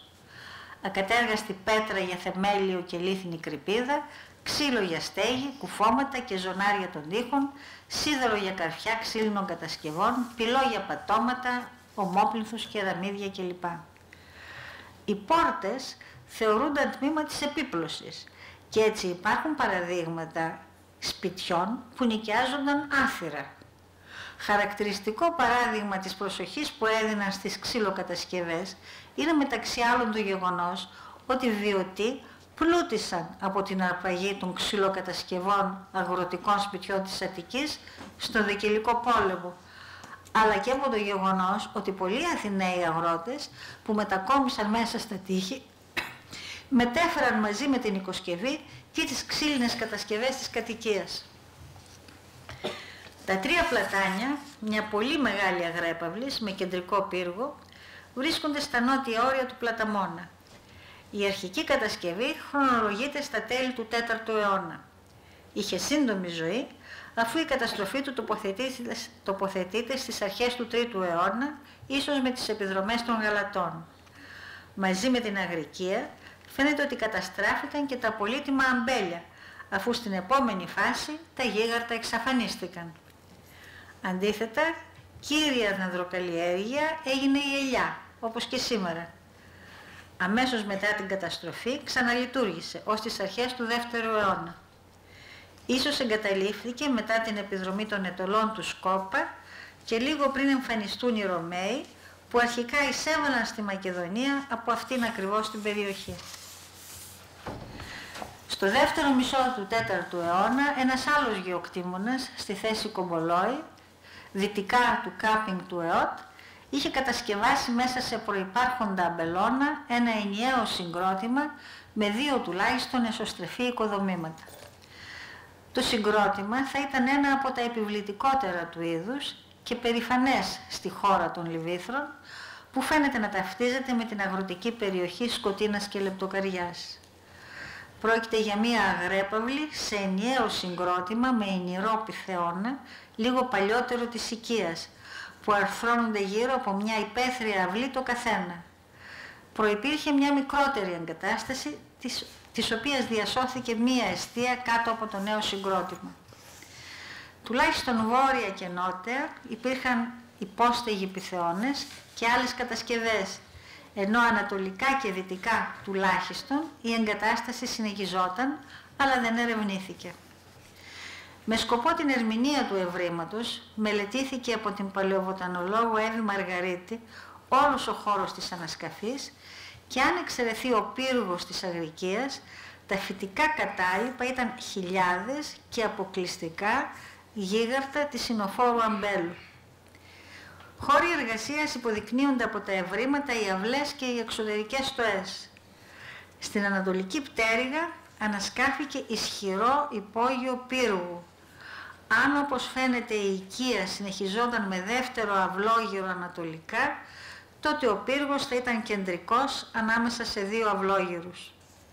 Στο υπόγειο σώζονταν 15 σειρές πλήνθη του πεσμένου βόρειου τείχου με, με υπόλευκο επίχρησμα. Έντονη καύση και κεραμίδες κάλυπταν το δάπεδο, καρφιά, κονιάματα, απανθρακωμένη δοκή, καθημερινή και επιτραπέζια κεραμική, αγροτικά εργαλεία, θράβισματα από τρεις τουλάχιστον πίθους, πληθώρα από όσπρια, δημητριακά, ελιές και γίγαρτα. Ένας πίθος έφερε στο λαιμό δύο διαμπερί μολυβδοχοημένα τρίματα, ίσως για συμφώνια απάντησης. Ρόγες ολόκληρες της κομπολογούλας, της αμπέλου δηλαδή της ανασκαφής μας, εντοπίστηκαν επίσης. Δεν γνωρίζουμε το γένος της, δεν αμφιβάλλουμε όμως ότι ο αμπελουργός του κομπολογιού, όπως και κάθε αρχαίος αμπελουργός, θα είχε επιλέξει με προσοχή τα γέννη των αμπελιών του. Γιατί, χάρη στη μακρά της παράδοση, η αρχαιότητα γνώριζε ότι το μέλλον του αμπελώνα κρινόταν πρώτα απ' όλα από την προβλεπτικότητα, την επιδεξιότητα και την αφοσίωση του αμπελουργού. Επέλεγε το γένος της αμπέλου και την εγγένεια αγωγή, φυτών παιδεία και την τροφή της αμπέλου με τέτοιο τρόπο ώστε να είναι καταφύσιν με το έδαφος και το μικροκλίμα του κάθε αμπελώνα. Η διαδικασία της συνοποίησης ξεκινούσε αμέσως μετά τον τρίγο και είχε δύο στάδια. Την γλευκοποίηση με το πάτημα των σταφυλιών στους λινούς, που φαίνεται να ήταν συνήθως υπαίθροι στον αμπελώνα, και την κυρίως συνοποίηση στους πυθεώνες. Αργότερα, ο λινός μπορούσε να είναι σε οικοδόμημα. Έπρεπε ωστόσο να είναι ευρύχωρος και ευάερος, ώστε στη μεγάλη βιασύνη ο, ο καρπός να έρχεται γρήγορα, να μετακινείται εύκολα και οι εργαζόμενοι να μην πνίγονται από την αποφορά. Τα σταφύλια απλώνονταν σε τραπέζια και σκάφες για να γίνει ο διαχωρισμός. Επιλεγωμένες ρόγες φαίνεται ότι πιέζονταν με τα χέρια σε λεκάνες για να προκύψει το κάρμα, ένα πολύ εκλεκτό γλεύκος. Ακολουθούσε η έκλειψη με τα πόδια στον ξύλινο ηλίθινο λινό, συνήθως μέσα σε σταφυλοδόχο καλάθι. Το γλεύκος έρεε προς την εκροή του λινού και συγκεντρωνόταν στο υπολίνιο χαμηλότερα. Αμέσως μετά τη γλευκοποίηση, το γλεύκος μεταφερόταν από τον λινό στους συνηρούς πυθεώνες και μεταγγιζόταν στους μεγαλύτερους πίθους και στη συνέχεια ίσως μεταχειζόταν σε μικρότερους όπου ολοκληρωνόταν η ζύμωση. Ο πυθεώνας του κομπολογιού ήταν κτίσμα ανεξάρτητο και προημότερο της οικίας, τετράγωνο με ιδιότυπη κάτωψη. Πυρήνας του ήταν η κεντρική αυλή, εξαιρετικά επιμελημένη και πεντακάθαρη. Με επάλληλες πυκνές στρώσεις μικρών και μεγάλων λίθων, αλλά και με βαθύ χαλικοτό υπόστρωμα. Οι γύρω χώροι ορίζονταν από τείχους με μεγάλους πεσούς ισχυρότατα θεμελιωμένους. Καμία άλλη χρήση δεν ανοιχνεύτηκε στο κτίριο πέραν της οικίας του ίνου. Περιείχε μόνο οικοδομικά πεσήματα και πίθους, πόματα πίθων, μολύβδινους συνδέζους πίθων και άλλα εξαρτήματα, λίγα σκεύη καθημερινής χρήσης, αμφορείς, γίγαρτα και ρητίνη. Εξωτερικά του πυθεώνα υπήρχαν στοές εργασίας, όπου εκτός από τα δομικά υλικά βρέθηκαν αγκία, αγνήθες αργαλιού, ειδόλια, σωλήνες, λεκάνες τριπτήρες, νομίσματα, βέλη, ένα χαλινάρι και εργαλεία. Ο Πυθεών είναι σύνηθες αρχαιολογικό έβριμα ως βοηθητικός χώρος της οικίας. Μπορούσε ακόμη να είναι υπαίθριος ή μη υπαίθριος, αλλά και στεγασμένος σε ανεξάρτητο κτίριο βιοτεχνικού χαρακτήρα όπως αποδεικνύει το κομπολόι. Έπρεπε να είναι ευρύχωρος για να κινούνται άνετα οι νόπτες, αλλά και για να αποφεύγονται τυχόν προβλήματα από τις αναθυμιάσεις. Λόγω της μεγάλης ευαισθησίας του διονυσιακού ποτού στις οσμές, οι εγκαταστάσεις έπρεπε να είναι πεντακάθαρες και άοσμες. Έπρεπε επίσης να είναι προσανατολισμένος ανάλογα με το κλίμα για τη σωστή θερμοκρασία. Σε βόρειες περιοχές της Ευρώπης είχε από νωρίς καθιερωθεί για την εινοποίηση η χρήση των βαρελιών. Όμως στις περιοχές με ήπιο κλίμα όπως της Ελλάδος, το γλεύκος μετατρεπόταν σε κρασί μέσα σε ειδικούς πίθους με διαστάσεις ακόμη και σήμερα εντυπωσιακές. Η ποιότητα του πίθου ήταν σημαντική για την εινοποιία ήδη από την πρώτη επιλογή του πυλού. Το σχήμα επίσης, το ίδιο και το μέγεθος. Συνολικά βρέθηκαν 32 πίθοι in situ, 18 λάκοι πίθων από όπου έλειπαν οι πίθοι και μεγάλος αριθμός τραυσμάτων. Πολλοί έφεραν γράμματα που θα είχαν σχέση με το περιεχόμενο αλλά δεν αποκρυπτογραφήθηκαν. Σχεδόν σε όλα υπήρχαν τα γράμματα κάπα όμικρον, κο, που όμως δεν θα πει κομπολόι. Δεν ξέρω τι θα πει έφεραν πύληνα πόματα που θα ανοίγονταν κατά διαστήματα για αρισμό, απάφρηση, έλεγχο και δοκιμασία από τους συνόπτες. Σε ένα υπήρχε λαδί και οποίοι προφανώς για επόπτες συνογεύστες. Προκειμένου να κλείσουν οι πόροι των πίθων, αμέσως μετά το, το ψήσιμο ελήφονταν με πίσα. Προτιμούσαν την ψημένη από την ομή και την ξηρή από την υγρή. Στην Ασία πιο δημοφιλής ήταν η πίσα της Σίδας, στην Ελλάδα της Πιερίας. Οι περισσότεροι πίθοι του κομπολογιού φαίνεται ότι μπορούσαν να περιέχουν περίπου 2 τόνους κρασί ο καθένας και λόγω του μνημιακού τους μεγέθους είχαν χτιστεί στο χέρι. Ο Ινοποιός μπορούσε να υπολογίσει την περιεκτικότητα των μεγάλων αυτών πίθων με βάση τις διαμέτρους του αγγείου και το βάθος του. Οι πολύπλοκες αυτές μεθρήσεις σώθηκαν μέχρι τις μέρες μας χάρη στον εφευρέτη Ήρωνα. Εξαιτίας των δυσκολιών στην κατασκευή των μνημιακών αυτών αγγείων, μερικοί εινοποιοί, όπως και στο Κομπολόι, δεν τα αντικαθιστούσαν, αλλά τα επιδιόρθωναν με μολύβδινους συνδέσμους, γεγονός που μπορούσε να βλάψει το κρασί. Για να προστατεύεται το κρασί από την ατμόσφαιρα και τις τυχόν μετακινήσεις, που ήταν βλαπτικές για τον ίνο, οι πίθοι θάβονταν στο έδαφος. Φρόντιζαν να μην ακουμπούν μεταξύ τους, ώστε αν χαλούσε ο ένας, να μην κολλήσει ο επόμενος, όπως διαπιστώθηκε και στο κομπολόι.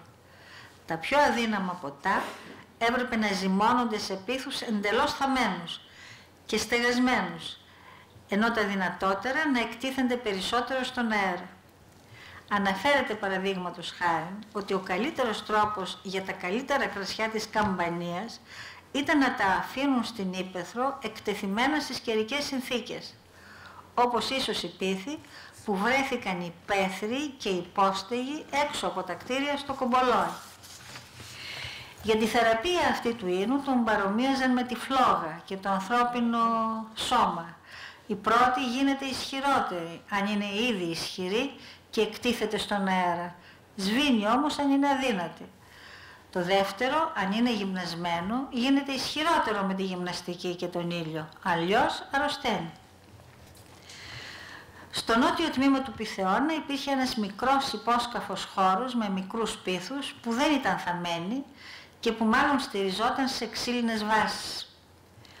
Ο χώρος είχε πλήρθυνα τυχώματα, επιμελημένο λιθόστρωτο υπόστρωμα, καλυπτόταν από παχύ υπόλευκο ασβεστοκονίαμα με βότσαλα και στην επιφάνεια με αραιούς αποστογυλευμένους μικρούς λίθους.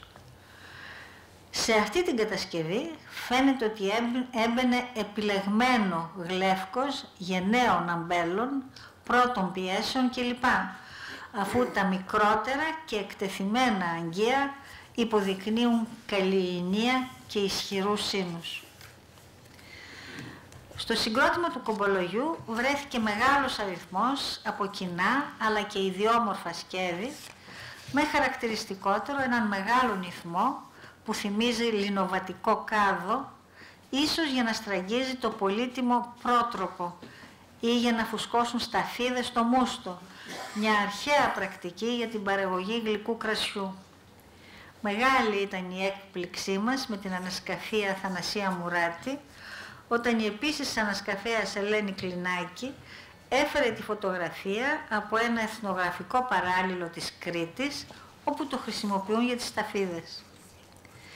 Ενδιαφέρον έχουν οι πολλές και ιδιόμορφες λεκάνες τριπτήρες που βρέθηκαν κυρίως στις στοές, ίσως για τη διαλογή των καλύτερων σταφυλιών και το πάτημα με το χέρι, πιθανόν για την παραγωγή ειδικού ή και λευκού κρασιού. Στα νεότερα χρόνια, σε ανάλογες λεκάνες και από επιλεγμένες ρόγες παράγεται το ανάμα, ο καλύτερος δηλαδή μούστος που προορίζεται για την Εκκλησία και τη Θεία Κοινωνία. Βρέθηκαν πολλοί αμφορείς, ιδρύες, αριτήρες, χιτροειδή, υγδία και μικρότεροι ηθμοί. Η επιτραπέζια κεραμική είναι μελαμβαφής, κυρίως σκύφη, σκυφίδια, κάθαρη, πινάκια, όλπες, ασκή και άλλα. Κυριότερα πύληνα μικροευρήματα είναι τα λιχνάρια, οι φαντικά βάρη ποικίλων μεγεθών, μερικά με επιγραφές και σφραγίσματα και διάγνωστης χρήσης πύληνης σωλήνες. Αρκετά ήταν τα μολύβδινα βάρη και εργαλεία, το ένα ανεπίγραφο, πολλά τα νομίσματα, σφήνες, φυτευτήρια, αγκίστρια, κρίκη και άλλα εργαλεία και εξαρτήματα, από τα οποία χαρακτηριστικότερα και διαχρονικότερα είναι τα μαχαίρια και το δικέλι του υπογείου. Το συγκρότημα μπαζώθηκε χάρη του τρένου. Εφόσον το αρχαιολογικό πάρκο των Λιβύτρων χρηματοδοτηθεί από το ΕΣΠΑ, η ανασκαφή θα αναπαρασταθεί όπως βρέθηκε. Τμήμα της Αγρέπαυλης θα αναπαρασταθεί όπως περίπου θα ήταν και στην αρχαιότητα και θα χρησιμοποιηθεί για τα εκπαιδευτικά προγράμματα. Εκεί θα αναζητήσουμε τη συνεργασία των σχολείων και των πνευματικών ανθρώπων της Πιερίας.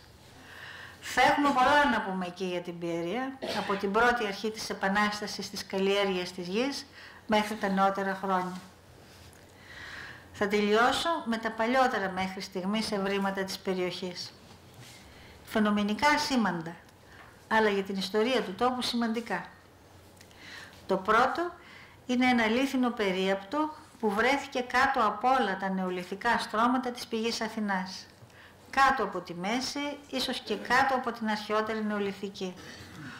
Οπωσδήποτε σε ένα κεραμικό στρώμα με πολλές λίθινες φωλίδες και καύσεις. Δυστυχώς η πανάρχια αυτή φάση βρίσκεται πολύ κάτω από τον ορίζοντα κατασκευής του έργου της ΠΑΘΕ και δεν ερευνήθηκε με επάρκεια. Το δεύτερο είναι ένα παλαιολιθικό μαχαιράκι, αποεισηγμένη στην Πιερία Πέτρα. Είχε περισυλλεγεί και μάλλον χρησιμοποιηθεί από τους ελληνιστικούς απογόνους των πρώτων Χριστών στο Κομπολόι. Στο παραμύθι του Κομπολογιού θέλω να το φαντάζομαι ως οικογενειακό τους σκημήλιο. Σας ευχαριστώ.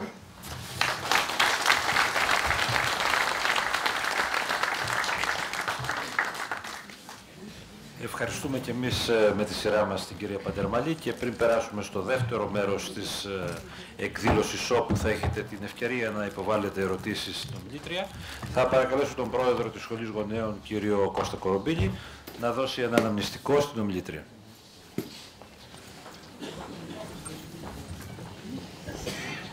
Πριν παραδώσω, ήθιστε να ευχαριστούμε την ομιλήτρια η οποία έκανε πολύ μεγάλο κόπο να συντάξει τη μελέτη την οποία δεν έκανε ειδικά για εμάς. Εδώ και τρεις μήνες τη δουλεύει και την ευχαριστούμε πάρα πολύ.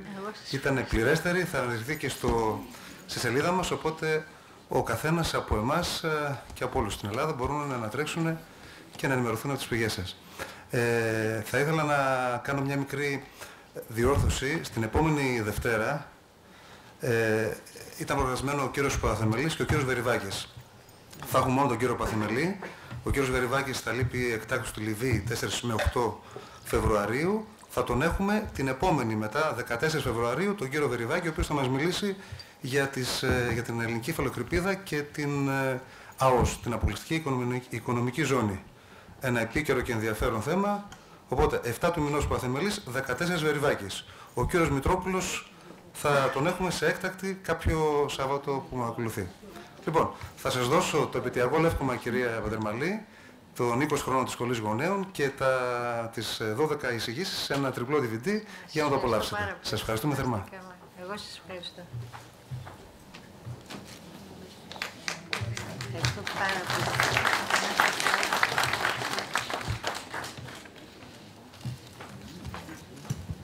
Και τώρα θα περάσουμε στο δεύτερο μέρος της ε, εκδήλωσης, όπου θα μπορέσετε να υποβάλλετε διευκρινιστικές ερωτήσεις ε, στην ομιλήτρια. Παρακαλώ, ποιος θέλει να ρωτήσει κάτι; Λακωνικά. Θέλω να σας ε, κάνω δύο ερωτήσεις. Πρώτον, γιατί δεν αναφερθήκατε καθόλου για την Πιερίδα; Στο κάτω-κάτω είναι μια πόλη, όπως ξέρετε, ότι υπάρχει εδώ και 4.000 χρόνια. Και δεύτερον, αναφερθήκατε, στο ξώανο των Λιβύθρων και επίσης είπατε ότι ίδρωσε, όπως αναφέρει ο Αριανός. Αλλά από ό,τι ξέρω υπήρχαν δύο ξώνα. Το ένα το ξώνα το ξύλινο ήταν στα Λίβιτρα και το δεύτερο το μαρμάρινο ήταν στην Πυρίδα εκεί που είναι σήμερα η Παναγία η Κονταριώτισσα, η οποία είναι χτισμένη επάνω σε έναν αρχαίο ναό και λέγεται ότι εκεί ήταν το μαντίο του Δίου και ότι το μαρμάρινο άγαλμα βρισκόταν μπροστά από την σημερινή εκκλησία της ε, Παναγίας της Κονταριώτισσας και αυτό το ότι ίδρωσε αυτό μπορώ να σας το εξηγήσω πολύ καλά αλλά επειδή τώρα είπατε να μην μιλάμε και πολύ να σταματήσω εδώ Καταρχήν δεν είπα για την περίοδο και για άλλα πράγματα δεν είπα, και πάρα πολλά δεν είπα γιατί δεν, μας, δεν με παίρνει ο, χώρο, ο χώρος για να πω. Ε, όσον αφορά για αυτό που λέτε ήταν δύο τα γάλματα, εγώ ένα ξέρω, το Ξώανο και αυτό ήταν στα Λίβυθρα γιατί εκεί ήταν η πατρίδα του. Τώρα το που, το που είναι η Πιερίδα, αυτό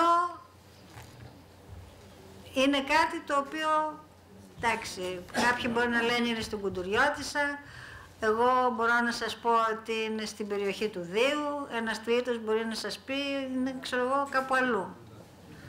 Αυτό δεν είναι κάτι το οποίο εύκολα μπορεί να την τοποθετήσει κανείς στην Περίδα. Περίδα. Την Περίδα. Περάστε στο βήμα παρακαλώ γιατί θα μια ερώτηση. Γεια σας. Ε, Είμαστε, είμαι σίγουρος ότι είμαστε όλοι χαρούμενοι από την παρουσίαση που κάνατε. Ε, θα ήθελα να ρωτήσω αφενός το εξής. Ε, αναφερθήκατε, θα ξεκινήσω από τον Αλέξανδρο, ε, που είπατε για τον εκδικητικό πόλεμο κατά των Περσών. Και θα αναφερθώ ιστορικά, ότι δεν ήταν καθόλου ιστορικός, ήταν το προήμιο, ο πρώτος που μπήκε μπροστά από τους δύο μεγάλους θεωρητικούς του πολέμου, του Σουντσού και του μεγάλου Φων Κλαούζεβης, ότι το, το πρώτο δόγμα τους ήταν αν, είσαι, αν θέλεις να έχεις ειρήνη που ετοιμάσου για πόλεμο και το δεύτερο είναι η καλύτερη άμυνα είναι η επίθεση. Και έκανε αυτό ακριβώς για να γλιτώσει την, την Ελλάδα από δεύτερη επίθεση. Ποια είναι η γνώμη σας αυτό; Εγώ πιστεύω την παραδοσιακή άποψη ότι ήταν εκδικητικός ο πόλεμος του Αλέξανδρου και για την Ελλάδα και για την καταστροφή που έκανε στην Νότια Ελλάδα αλλά και κυρίως πιστεύω εγώ αυτή είναι η προσωπική μου άποψη για αυτά τα οποία συνέβησαν στη Μακεδονία. Ναι, αλλά μην ξεχνάτε την επιθετική στάση του Θηβαίων. Ναι. Αυτά τα οποία συνέβησαν στη Μακεδονία όταν οι Πέρσες πασάδες άκουσαν τα ξαρά τους και χούφτωναν τις γυναίκες των Μακεδόνων. Αυτά δεν, δεν δεν φεύγουν εύκολα από τις μνήμες των ε, οικογενειών. Μιας οικογενείας όπως ήταν η οικογένεια του Αλέξανδρου. Δεκτό. Και το άλλο είναι τοποθέτηση, δεν είναι ερώτηση. Είναι ότι αν το δείτε και πολύ σωστά το αναφέρατε και αναλυτικότατα το τεκμηριώσατε, ο Μακεδονικός Όλυμπος, το δέχομαι απολύτως γιατί υπάρχει ο Θεσσαλικός. Μα δεν το λέω εγώ, εγώ δεν ήξερα ότι υπήρχε, το βρήκα στα κείμενα. Ακριβολογείται όπως είναι, αλλά πρέπει να σκεφτούμε και γιατί ο Μακεδονικός Όλυμπος και οι λόγοι είναι δύο. Ε, αν τον έχετε τη χαρά ή σας τύχει να τον περπατήσετε, θα δείτε ότι όλος ο μπροστά ο Όλυμπος ο πυρικός Όλυμπος, να τον πω έτσι αν θέλετε, είναι καταπράσινος με τα νερά κτλ. τα ναι. Από πίσω είναι στην ξέρα και δευτερευόντως είναι η θάλασσα. Ευχαριστώ. Ε, καλό. Ο κύριος Σολακίδης. Συγγνώμη να το πω αυτό γιατί μερικές, φο... μερικές φορές α, ε, ακούω και όλα να υπάρχουν κάποιες ερωτήσεις τι θα πει μακεδονικός και θεσσαλικός. Θα πει, έτσι ήταν γνωστό στην αρχαιότητα, δηλαδή οι αρχαίοι συγγραφείς έτσι αναφέρουν μακεδονικός όλυμος, θεσσαλικός όλυμος. Ο κύριος Τσολακίδης. Κύριε Παντερμαλή, εγώ δεν εξεπλάγην από την παρουσίασή σας. Γνωρίζω ότι είσαστε μία άριστη επιστήμονας, γνωρίζω το έργο σας, γι' αυτό και δεν εξεπλάγην από αυτήν την άριστη παρουσίαση που είδα απόψε, που άκουσα απόψε. Θα είμαι λακωνικός. Θα ήθελα να μας απαριθμίσετε τους σημερινούς εχθρούς του Ολύμπου. Είναι η πρώτη ερώτηση και η δεύτερη είναι πριν από ένα χρόνο περίπου, τον Μάιο του 2010, σύσσωμη τοπική κοινωνία, οι φορείς, ζήτησαν την κατάργηση του αρχαιολογικού νόμου. Θα ήθελα σας παρακαλώ να μας πείτε ποιες θα ήταν οι επιπτώσεις από την κατάργηση του αρχαιολογικού νόμου για τον Όλυμπο; Σας ευχαριστώ.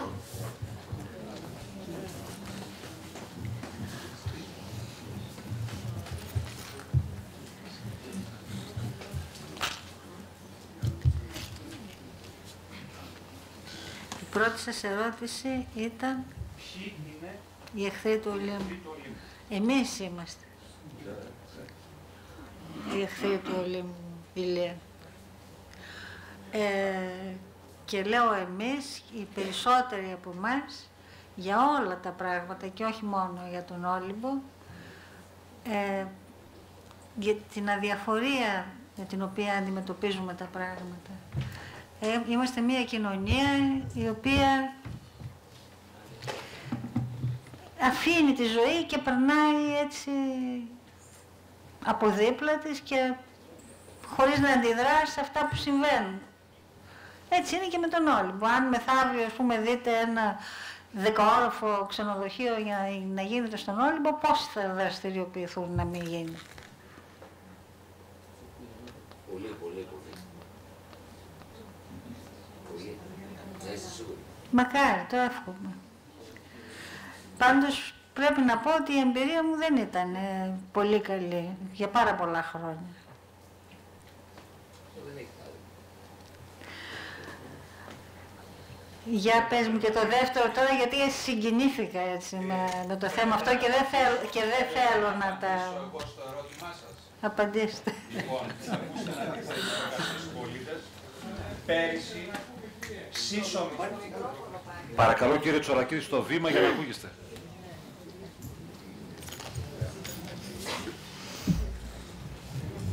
Πέρυσι, σύσσωμη η πολιτική ηγεσία αυτού του τόπου.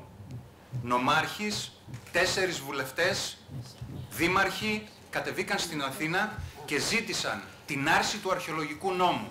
Που αυτό σημαίνει μπάτε σκύλια λέστε και κάντε ό,τι θέλετε μέσα στον Όλυμπο. Προσέξτε, η, η ηγεσία του τόπου μέσα στο, στη συνάντηση που έγινε στο Υπουργείο Πολιτισμού υπήρξαν δύο ομάδες οι οποίοι υπερασπίστηκαν τον Όλυμπο. Η μία ομάδα ήταν η κυρία Παντερμαλή με τους αρχαιολόγους και μία άλλη μικρή ομάδα πολιτών. Ένα πράγμα θα σας πω. Βάλαν την ουρά στα σκέλια και φύγανε στην Κατερίνη. Δυστυχώς δεν μάθαμε τίποτα από αυτήν τη συνάντηση. Ο τύπος δεν είπε τίποτα, δεν έγραψε τίποτα, τα ΜΜΕ δεν είπαν τίποτα. Είναι ντροπή για τον τόπο, η πολιτική ηγεσία του τόπου να ζητεί την κατάργηση του αρχαιολογικού νόμου. Ελπίζω να συμφωνείτε με την απάντηση της ερώτησης που σας έθεσα.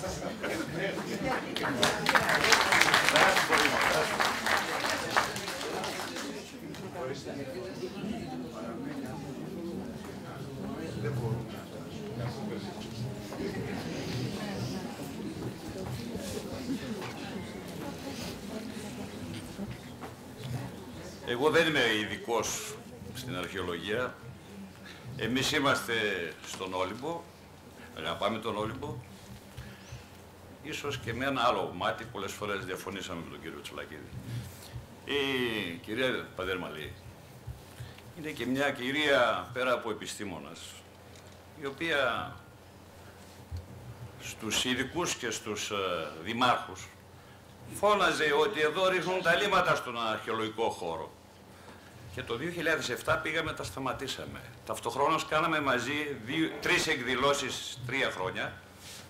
Ε, το 7, το 8 και το 9 μαζί. Προβάλαμε τα Λίβηθρα μαζί υπό την αιγίδα της UNESCO και το προβάλαμε και στην Αθήνα και στο Δήμο Θεσσαλονίκης. Και την βλέπω τώρα στα δικαστήρια συνέχεια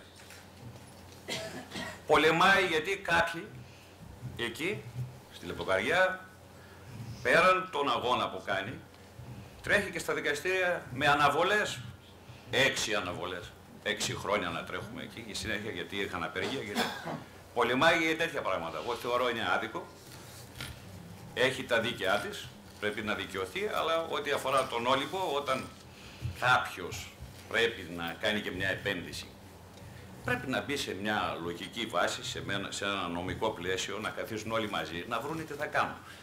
Διότι άμα λες μόνο δεν κάνω τίποτα και, το, και μόνο είσαι αρνητικός, ενώ οι άλλοι θέλουν... Δεν ανήκω σε αυτή την Ε, κατηγορία, κύριε Τέλος Γιάννης. πάντων, όχι, όχι, εσείς, όχι. Αλλά να σεβαστούμε και τους άλλους και να δούμε τι μπορούμε να κάνουμε. Ένα ερώτημα είναι αυτό, δεν ξέρω. Εκείνο που ήθελα να ρωτήσω, ε, είναι ότι διαβάζοντας πρόσφατα για τα συγγράμματα του Ότο Κέρν, μιλάει τόσα πολλά, είναι περιηγητής Γερμανός και αναφέρει... η Φιλόλογος Μέγας. Ναι. Και αναφέρει τόσα πολλά πράγματα για τα Λίβεθρα. Πρώτη φορά είδα τόσο πολύ υλικό. Δεν μπορούσατε βέβαια εσείς να το αναφέρετε εδώ. Αλλά τι γίνεται με εκείνο το μονοπάτι που δεν το ξέρει η Πυρία. Γιατί πρόσφατα πήρα από εσάς από την ιστοσελίδα την φωτογραφία και τη δημοσίευσα.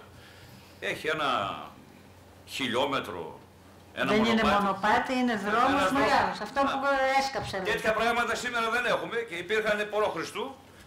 Και τι γίνεται, Τι αυτό να τώρα, γίνει; αυτό το τι είναι, συντηρούμε, είναι το, τόσο καθαρι... παλιό. το Αυτό- καθαρίζουμε, δεν ξέρουμε. Αυτό ήθελα να μας πείτε, τι... Είναι αυτό- ένας πολύ σημαντικός ορεινός ε, δρόμος, δεν είχε στοιχεία για τη χρονολόγησή του, οπωσδήποτε είναι αρχαίος από την άποψη ότι προστατεύεται από τον αρχαιολογικό νόμο. Για να χρονολογηθεί θέλει να γίνει ευρύτερη ανασκαφή, κύριε Γιάννησιο. Αυτό το μήνα είμαστε στα δικαστήρια, δεν ξέρω αν είστε κι εσείς εκεί. Και συγκεκριμένα εγώ έχω αναφέρει ότι αυτός ο δρόμος καταστράφηκε από καταπατητές. Έτσι. Αυτός ο Δεν- δρόμος καταστράφηκε Βέβαια. από τον δρόμο ο οποίος έγινε και ξεκίνησε χωρίς άδειες, χωρίς συνεννοήσεις, χωρίς τίποτα και κατέστρεψε ένα πολύ μεγάλο τμήμα. Έχουμε του. τεράστια Ο δρόμος προβλήματα. Καριάς, Λεπτοκαριάς. Έχουμε Εντάξει. τεράστια προβλήματα όσον αφορά τις ερωτήσεις. Είναι αναπάντητες. Μην, μην τα βάζετε ούτε με τους πολιτικούς, ούτε με αυτούς. Είναι τεράστια τα προβλήματα και η ίδια η κοινωνία και αυτή. Ποιος φταίει; Τώρα, ένας, ένας πήγε και έβαλε μια άσπρη καμήλα στα Λίβηθρα. Εκεί που θα γίνει το αρχαιολογικό πάρκο. Έκοψε τα δέντρα και έβαλε μια άσπρη καμήλα. Αυτά είναι άπειρα τα προβλήματα κύριε Γιάννη. Άμα αρχίσουμε δεν τελειώνουμε ούτε Παρακαλώ, η αύριο. επόμενη ερώτηση. Παρακαλώ. Τεράστια προβλήματα η κοινωνία.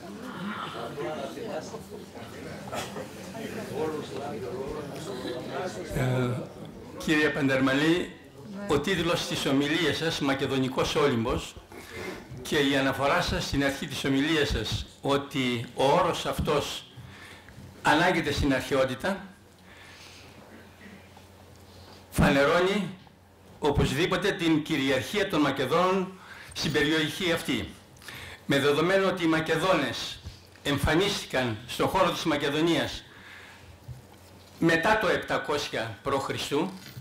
και κυριάρχησαν αφού έδιωξαν από τον χώρο αυτό τους Θράκες, Πίερες και άλλα φύλλα που μετανάστευσαν στην ε, περιοχή του Παγκαίου και ονόμασαν εκεί την περιοχή επίσης Πιερία, θα ήθελα να σας ρωτήσω εάν υπάρχουν ε, μαρτυρίες αρχαίων συγγραφέων στο βιβλίο σας Λίβηθρα αναφέρετε πολλές μαρτυρίες αρχαίων συγγραφέων που αναφέρονται στην Πιερία, όμως δεν είδα πουθενά τον όρο Μακεδονικό Όλυμπο. Ρωτώ λοιπόν αν πριν από την κυριαρχία των Μακεδόνων, κατά τους προϊστορικούς χρόνους, μέχρι και την επικράτηση των Μακεδόνων τον 7ο αιώνα, εάν υπήρχε πα- χαρακτηρισμός, παράδειγμα που να φανερώνει την θρακική παρουσία εδώ, ένα, και δεύτερον, εάν οι πίερες ήταν θρακικό φύλλο ή όχι. Ε, Ναι. το όνομά σας, Καβουνίδης, ναι. κύριε Καβουνίδη. Ευχαριστώ. Ε, κανείς ε, δεν ξέρει πότε εγκαταστάθηκαν οι Μακεδόνες εδώ. Εγώ δεν είμαι προσωπικά εντελώς σίγουρη ότι σίγουρα δεν εγκαταστάθηκαν το 700. Σίγουρα ήταν παλιότερα εδώ. Το πόσο παλιά ήταν, το πόσο παλιά έχουν έρθει, αυτό είναι ένα ερώτημα στο οποίο σήμερα δεν θα ήθελα να απαντήσω. Αλλά σίγουρα ήταν πριν από το 700. Στον χώρο της Πιερίας ή στην ε, Άνω Μακεδονία. Στην περιοχή του Ολύμπου σίγουρα. Σίγουρα. Και γι' αυτό τόσο αναλυτικά σας έκανα και την παρουσίαση όλων αυτών των ευρημάτων. Είναι σίγουρα από παλιότερα εδώ. Και δεν το λέω μόνο εγώ. Τώρα αυτά, αν ανοίξετε το site της εφορίας, πρέπει να τα έχω δημοσιευμένα. Όλα τα, τα χωρία τα οποία αναφέρουν πόσο, δείχνουν μάλλον, πόσο πρώιμα ανάγεται η- η παρουσία των Μακεδόνων στον Όλυμπα. Είναι ακόμη στην εποχή των μύθων. στο βιβλίο σας Λίβηθρα αναφέρατε... Εκεί όχι, εκεί το, το βιβλίο μου Λίβηθρα έχει σχέση με τα Λίβηθρα και τον uh, Ορφέα. Δεν έχει σχέση με αυτά.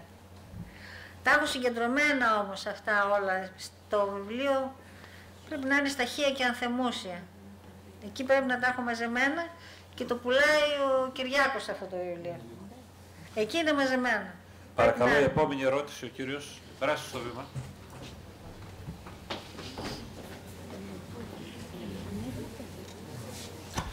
Εγώ θα ήθελα να σας ρωτήσω αν μου επιτρέπετε, επειδή στην ομιλία σας μιλήσατε για τάλαντα, αν έχουν βρεθεί τάλαντα. Το πρώτο ερώτημά μου. Το δεύτερο ερώτημα δεν θα ρωτήσω για τον τάφο του Μεγάλου Αλεξάνδρου, αλλά για τις μητέρας του. Αν υπάρχουν κάποιες ενδείξεις ε, και σαν Μακεδόνες που είμαστε η Μακεδονία που είναι εδώ, αν ενδιαφερόμαστε να βρεθεί αυτός ο τάφος. Και το τρίτο και τελευταίο, ερχό, ερχόμενοι από Κορινό για Κατερίνη, δεξιά του δρόμου, σε ανασκαφές που γινόταν σε ένα χωράφι να, γιατί πέραν το χώμα για να γίνουν τούβλα, βρέθηκε ένα, στάβλο, ένα στάφος. Την τελευταία φορά που πήγα ήταν σε άθλια κατάσταση, πεταμένα ψόφια σκυλιά μέσα, αν γνωρίζετε. Πολύ παλιά θα το είδατε αυτό, γιατί mm. τελευταίος δεν είναι έτσι αν γνωρίζετε και αυτόν τον τάφο και τα ευρήματα που βρίσκονται. Ευχαριστώ πολύ. Λοιπόν, αυτός ο... αυτοί είναι δύο τάφοι. Το, τους τάφους της χωματερής λέτε. Της παλιάς, χωματο... της παλιάς χωματερής, ναι. Ε, αυτό το τάφο ειδικά, ο οποίος είναι ένας πάρα πολύ σημαντικός τάφος, είναι πρώιμος δηλαδή, πριν ακόμη γίνει η καμάρα και στεγαστεί ως μακεδονικός ο τύπος αυτού, αυτός του τάφου. Ε, αυτό θα προσπαθήσουμε να τον αν βοηθήσει και η Κατερίνη τέλος πάντων και γίνει καμία κίνηση ε, θα προσπαθήσουμε εμείς να το χρηματοδοτήσουμε από το ΕΣΠΑ για να συντηρηθεί ή στη χειρότερη περίπτωση να το κάνει η ΠΑΘΕ γιατί εκεί γίνεται τώρα το έργο, γίνεται μια αερογέφυρα. Πάση περιπτώσει είμαστε στη διαδικασία, προσπαθούμε να τον αναδείξουμε. Τι άλλο μου είπατε; Ο τάφος της Ολυμπιάδος. Ε, εγώ κάποτε ήλπιζα ότι ένας τάφος πρώιμος που βρέθηκε εκεί στην περιοχή του Μακρυγιάλου ότι ήταν της Ολυμπιάδος. Δεν ξέρουμε. Δεν, αν δεν υπάρχει επιγραφή που να λέει ότι αυτό και εκείνο, ξέρω εγώ είμαι ο τάφος της Ολυμπιάδος, ε, τάφηκε νομίζω αρχικά, αρχικά πρέπει να πιθανόν να τάφηκε στην, στην Πύρνα, γιατί εκεί πολιορκήθηκε και εκεί σκοτώθηκε. Πολλοί ιστορικοί θεωρούν ότι πήγε στα, στα πάτρια εδάφη. Πολύ ιστορική το, το λένε. Ναι, αλλά δεν είναι απαραίτητο. Ακριβώς. Συμφωνώ πολύ.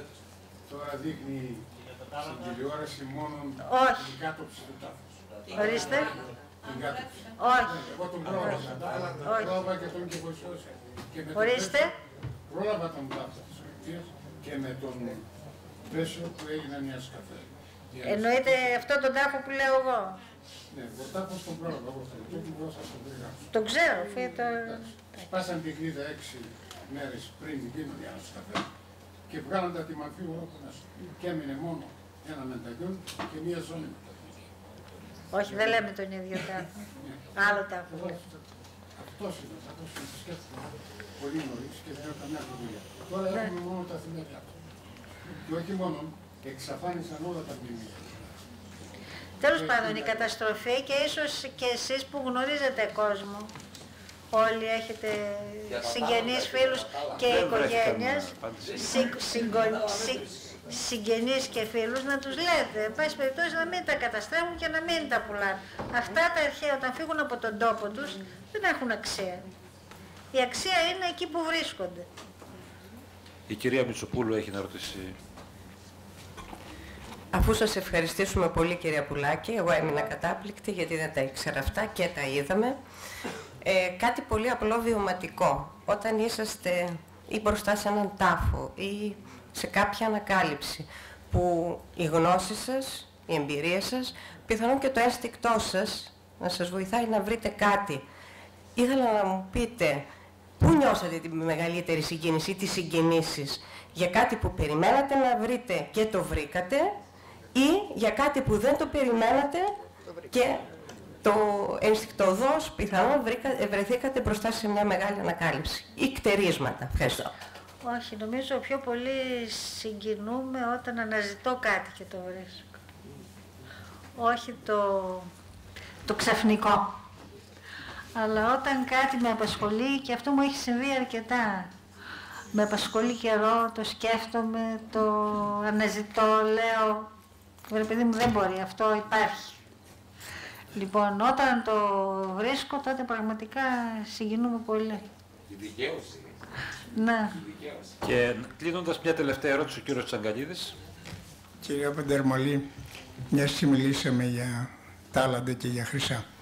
Εμείς που ανεβαίνουμε στο βουνό με τον ορειβατικό και βλέπουμε πολλά μέρη και μιλάμε και με τους βοσκούς και τον κόσμο του βουνού, ε, και εσείς θα ξέρετε, πάρα πολλοί κατερινιώτες και από άλλα μέρη πήγαν και στην έκθεση της Θεσσαλονίκης και αγοράσανε, δώσαν πολλά λεφτά, αγοράσανε μηχανήματα που ψάχνουν για χρυσάφι.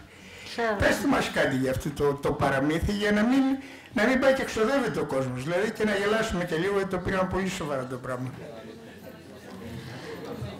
Ε, τι να σας πω, η μανία του χρυσού φαίνεται είναι μέσα στο αίμα των, ε, των ανθρώπων. Αυτό είναι όπως το ο τζόγος, δεν κόβεται. Μόνο καταστρέφει, όπως καταστρέφουν οι οικογένειες με, την, ε, με το χαρτί, έτσι καταστρέφονται και τα βουνά ή και τα αρχαία όταν υπάρχουν με αυτά τα εργαλεία. Αυτά κανονικά χρειάζονται άδεια δεν επιτρέπεται να τα χρησιμοποιεί κανείς χωρίς άδεια και οπωσδήποτε δεν, δεν επιτρέπεται να τα χρησιμοποιεί σε αρχαιολογικούς χώρους. Και άλλες φορές, πάλι εκτός τώρα από αυτούς που είναι οι παράνομοι, υπάρχουν και νόμιμοι. Εμένα μου είχε περίπτωση δηλαδή ανθρώπου να λέει εδώ κάτω είναι θαμένος χρυσός, εγώ ως αρχαιολόγος να ξέρω από τα χώματα, δηλαδή πια ξέρω από τα χώματα μπορώ να καταλάβω αν έχει κάτι από κάτω. Θα του λέω Χριστιανέ μου εδώ σκάβεις σε, σε χώμα όχι φυσικό, σε χώμα μητρικό, την αρχή γενέσεως κόσμου. Δεν έχει τίποτα εδώ πέρα μέσα. Και εκείνος να επιμένει ότι έχει. Και έσκαψε 4 μέτρα βάθος καθαρό μητρικό χώμα. Είναι αρρώστιες αυτές. Καλώς. Λοιπόν, αν δεν υπάρχει άλλη ερώτηση, να ευχαριστήσουμε την κυρία Παντερμανή και να σας υπενθυμίσουμε ότι την επόμενη Δευτέρα στις 7 Φεβρουαρίου θα έχουμε μιλητή τον κύριο Στέλιο Παπαθημελή με θέμα ο Μάρτη του 1987, τα γνωστά γεγονότα που έγιναν τότε τα ελληνοτουρκικά.